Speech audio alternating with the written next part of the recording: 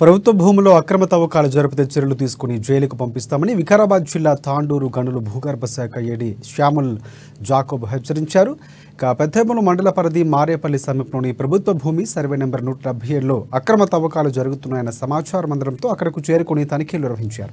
అక్కడ ఉన్న హిటాచి యంత్రంతో పాటు రెండు టిప్పర్ లారీలు స్వాధీనం చేసుకుని రెవెన్యూ అధికారులకు అప్పగించారు. ప్రభుత్వ భూముల్లో అక్రమాలకు పాల్పడితే ఎంతటి వారైనా ఉపేక్షించేది లేదని హెచ్చరించారు. ఉన్నట్టుగా చెప్పారు.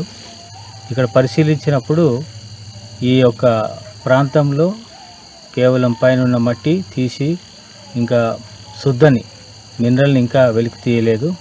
ఇది ప్రభుత్వ భూమి అని మరి ఎంఆర్ఓ గారికి కూడా తెలియజేయడం జరిగింది.